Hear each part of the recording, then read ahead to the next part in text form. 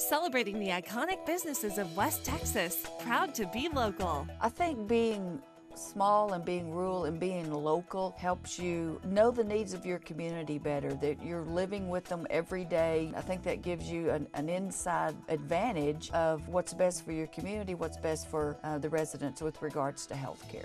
I'm Dr. Melanie Richburg, CEO at Lynn County Healthcare System. We are your healthcare closer to home and proud to be local.